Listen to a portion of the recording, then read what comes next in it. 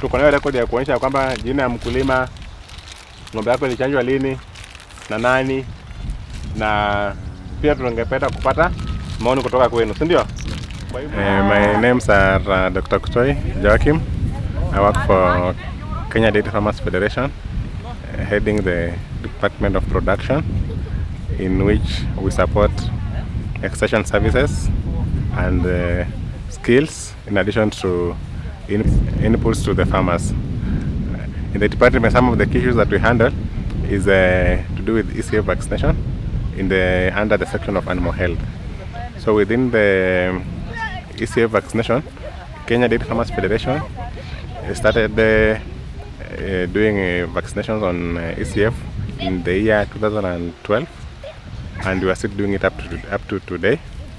Since 2012, we've managed to vaccinate uh, 16,081 animals and uh, for the year 2016 alone we have managed to vaccinate 1,500. We are looking forward to boosting these numbers, especially with the new partners coming on board and uh, so that they can help us in farmer adoption.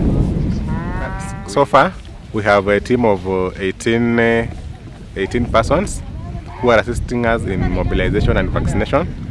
These 18 uh, animal health service providers were trained uh, last year in 2015 in uh, February at Kari, Muguga, and uh, their work mainly is to do with uh, informing farmers about the vaccine and uh, supporting us achieve the 40 number that we require to in, to do the vaccination.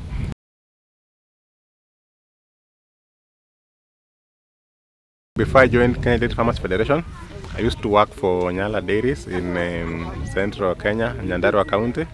And when I was there is when I came to know about the vaccine. And while still based there, I managed to mobilize for vaccination of uh, around uh, 1,800 animals. And uh, farmers were very happy with the vaccine.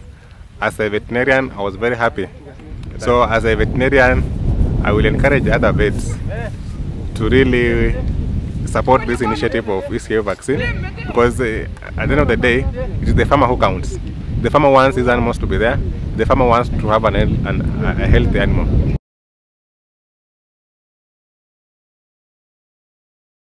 I think as a young man growing up at home, I saw the efforts my dad was putting in place in terms of the dairy sector, and uh, I wanted to be a good farmer, a model farmer for who for, who had the best animals.